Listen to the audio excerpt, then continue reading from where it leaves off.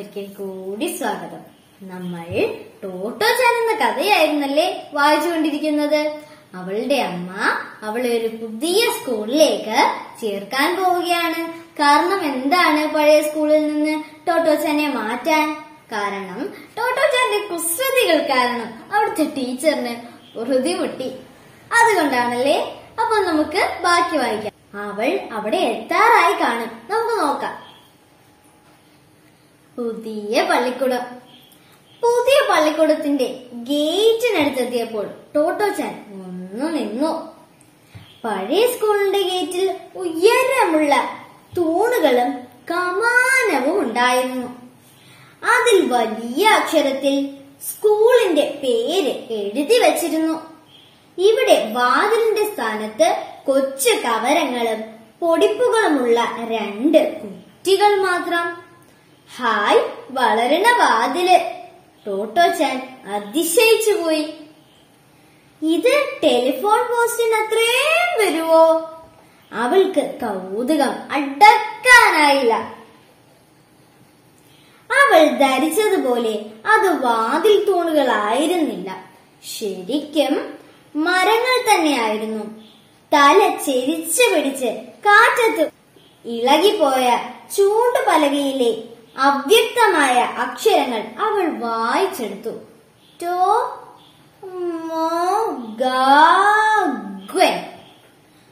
Tomo എന്നാൽ എന്താണെന്ന് അമ്മയോട് ചോദിക്കാൻ തുടങ്ങുമ്പോഴാണ് വഴിയോരത്തെ കുറ്റിക്കാടിനിടയിലൂടെ അവൾ അത് കണ്ടത്. ഹായ് വർദ്ധിച്ച കൗതുകത്തോടെ അവൾ ചെടികൾ വകുന്നു മാറ്റി. ഇലച്ചാർത്തുകൾക്കപ്പുറത്ത് അത് വ്യക്തമായി കാണാം. കൊച്ചു ടോട്ടോയ്ക്ക് അവളുടെ കണ്ണുകളെ വിശ്വസിക്കാനായില്ല. ഹായ് അവിടെ ഒരു തീവണ്ടിയുണ്ട് ആ മൈതാനത്തിൽ. അത് ശരിക്കും തീവണ്ടിയാണോ അമ്മേ? അവൾ ചോദിച്ചു. അത് ക്ലാസ് മുറികളായിരുന്നു. നിരത്തിയിട്ടിരിക്കുന്ന ഉപയോഗശൂന്യമായ ആറ് റെയിൽവേ കോച്ചുകൾ. ടോട്ടോ ചാനൽ ഒരു സ്വപ്നം പോലെ തോന്നി. തീവണ്ടിയിലെ പള്ളിക്കൂട പ്രഭാതത്തിലെ ഇളം വെയിലിൽ റെയിൽ മുറികളുടെ ജനൽപാളികൾ തിളക്കമാർന്നു. ഇലച്ചാർത്തുകൾക്കിടയിൽ വിടർന്നു നിന്ന അവളുടെ കുഞ്ഞിക്കണ്ണുകൾക്ക് അതിലേറെ തിളക്കം. അപ്പോൾ നമുക്ക് എന്താണ് ഇതിൽ നിന്ന് മനസ്സിലായത്? കൊച്ചു ടോട്ടോയെ പുതിയൊരു പള്ളിക്കൂടത്തിൽ ചേർക്കുകയാണല്ലേ? അവിടെ ക്ലാസ് മുറികൾക്ക് പകരം റെയിൽവേ കോച്ചുകൾ വെച്ചാണ് ക്ലാസ് മുറികൾ ഉണ്ടാക്കിയത്. ഉപയോഗശൂന്യമായ റെയിൽവേ കോച്ചുകൾ വെച്ച് എന്തെല്ലാം ഉപയോഗങ്ങൾ ഇതേപോലെ നമുക്ക് ചുറ്റുമുള്ള ഉപയോഗശൂന്യമായ സാധനങ്ങൾ ഉപയോഗിച്ച് നമുക്ക് ഓരോന്നൊക്കെ ഉണ്ടാക്കിക്കൂടെ പ്രത്യേകിച്ച് കൊറോണ കാലത്ത്? പക്ഷെ അവൾ വായിച്ചെടുത്ത ആ സ്കൂളിന്റെ പേരെന്താണ്? ടോമോ ഗഗ്വാൻ എന്നല്ലേ? അതെ. ടോമോ ഗഗ്വാൻ എന്നാണ് ആ സ്കൂളിന്റെ പേര്. അപ്പോൾ നമുക്ക് ബാക്കി വായിക്കാം. അടുത്ത പാഠത്തിന്റെ പേര് എന്താണെന്ന് അറിയാമോ എനിക്ക് ഈ സ്കൂൾ ഇഷ്ടായി. അപ്പൊ നമുക്ക് അതിന്റെ ബാക്കി വായിക്കാം. കൊച്ചു ടോട്ടോയ്ക്ക് സന്തോഷം കൊണ്ട് കാലുകൾ നില നിലത്തുറയ്ക്കുന്നില്ല. തീവണ്ടി സ്കൂളിനടുത്തേക്ക് അവൾ കുത്തി കുതിച്ചു. അമ്മേ ഒന്ന് വേഗം വന്നാട്ടെ. തീവണ്ടി അനങ്ങി തുടങ്ങും മുമ്പ് കേറണം. അവൾ തിരിഞ്ഞു നിൽക്കാതെ പറഞ്ഞു. അവൾക്കൊപ്പമെത്താൻ അമ്മയ്ക്ക് ഓടേണ്ടി വന്നു. ഭാഗ്യത്തിന് ഭാഗ്യത്തിന് അവർ പണ്ടൊരു ബാസ്കറ്റ് ബോൾ കളിക്കാരിയായിരുന്നു. ആഹാ അത് കൊള്ളാമല്ലോ.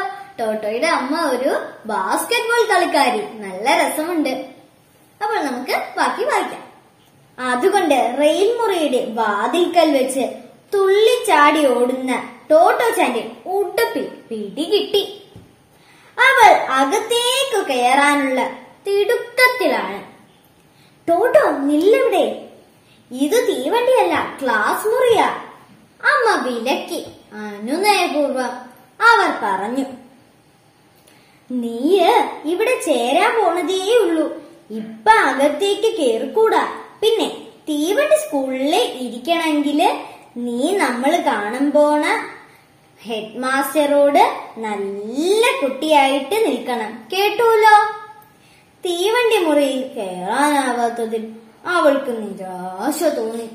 എങ്കിലും അമ്മ പറയും പോലെ കേൾക്കുന്നതാണ് നല്ലതെന്ന് ഉറച്ചുകൊണ്ട് അവൾ പറഞ്ഞു. എനിക്ക് ഈ സ്കൂൾ നന്നേ ഇഷ്ടായി. അമ്മയുടെ മനസ്സിൽ മറ്റൊന്നായിരുന്നു. മാസ്റ്റർക്ക് അവളെ ഇഷ്ടപ്പെടാതിരിക്കുമോ? ഉടുപ്പിലെ പിടിവിട്ട് കൊച്ചു ടോട്ടോയുടെ കയ്യിൽ മുറുകെ പിടിച്ചുകൊണ്ട് ഹെഡ്മാസ്റ്ററുടെ മുറിയിലേക്ക് അവർ തിടുക്കത്തിൽ നടന്നു. ആദ്യത്തെ പിരീഡ് തുടങ്ങിക്കഴിഞ്ഞിരുന്നു. തീവണ്ടി മുറിയിലാകെ നിശബ്ദം ഇടുങ്ങിയതെങ്കിലും ചുമരുകളില്ലാത്ത സ്കൂൾ മുറ്റത്ത് ചുറ്റും മരങ്ങൾ. ചുവപ്പും മഞ്ഞയും നിറത്തിലുള്ള പൂക്കളുടെ നീണ്ട നിരകൾ ഹെഡ്മാസ്റ്ററുടെ മുറി തീവണ്ടിയിലായിരുന്നില്ല. ഗേറ്റിന് മുന്നിലായി അരവട്ടത്തിലുള്ള ഏഴ് പടികൾക്ക് മുകളിൽ ഒരൊറ്റ നില കെട്ടിടം. അതിന്റെ വലത്തേ അറ്റത്ത് മാസ്റ്ററുടെ മുറി. അമ്മയുടെ പിടിയിൽ നിന്ന് കുതറി ടോട്ടോച്ചാൻ പടികളിലൂടെ ഓടിക്കയറി.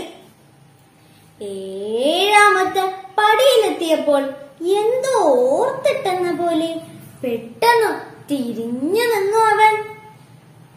എന്തേ നിന്നു കളഞ്ഞേ? അവൾക്കൊപ്പമെത്താൻ ബദ്ധപ്പെട്ടുകൊണ്ട് അമ്മ ചോദിച്ചു മകളുടെ മനസ്സ് മാറുകയോ മറ്റോ ചെയ്തോ? എന്നായിരുന്നു അവരുടെ സംശയം. അമ്മ അവൾക്ക് താഴെ എത്തി. മുകളിലെ പടവിൽ നിന്ന് താഴേക്ക് ചാഞ്ഞു ടോട്ടോച്ചാൻ അമ്മയുടെ ചെവിയിൽ മന്ത്രിച്ചു. നമ്മൾ കാണാൻ പോകുന്നതേ ശരിക്കും സ്റ്റേഷൻ മാസ്റ്ററെയാ. അമ്മയ്ക്ക് വേണ്ടുവോളം ക്ഷമയും സഹൃദയത്വവും ഉണ്ടായിരുന്നു. അവളോട് ചേർന്ന് നിന്ന് മന്ത്രിക്കുന്ന സ്വരത്തിൽ അവർ ചോദിച്ചു ആണോ? അതേ മട്ടിൽ അവൾ വീണ്ടും പറഞ്ഞു ഹെഡ് മാസ്റ്റർ ആണെന്നല്ലേ അമ്മ പറഞ്ഞേ? ഇത്രയും ട്രെയിൻ ഉണ്ടെങ്കിലേ ഒരു സ്റ്റേഷൻ മാസ്റ്റർ തന്നെയാ. നീ തന്നെ മാസ്റ്ററോട് പോയി ചോദിക്ക അമ്മയ്ക്ക് ഉത്തരം മുട്ടി. സ്കൂളിൽ തീവണ്ടി മുറി ഉപയോഗിക്കുന്നത് ഏതായാലും വിചിത്രമായൊരു ഏർപ്പാടാണ്. അവർക്ക് സമ്മതിക്കേണ്ടി വന്നു. കൂടുതൽ വിശദീകരിക്കാനാവില്ല. സമയവുമില്ല. എങ്കിലും അവർ പറഞ്ഞു നിന്റെ അച്ഛൻ വയലിൻ വായിക്കൂലോ?